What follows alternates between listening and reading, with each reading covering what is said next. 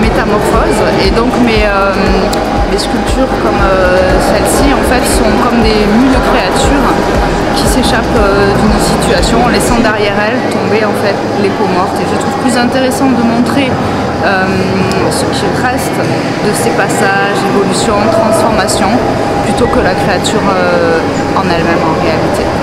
Mon travail se porte davantage sur montrer en laissant vide cet espace de liberté de vie.